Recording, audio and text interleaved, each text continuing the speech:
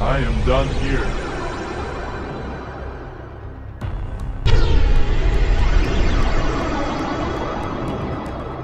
What the hell happened here?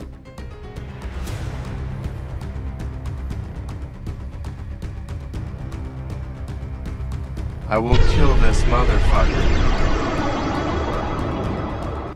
So, Bob is alive. Just infected. I really need a team. Hey man, Yo, dude.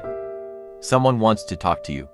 Head to Grapefruit Base 2. Also, sorry, but I won't be able to help you when you fight Bob. why? I am the Grapefruit leader. If I died, bases will go chaotic. You get the idea. I understand. Please take care of yourself. I do not want you to die. Oh my god, it's T65. This could stop Bob.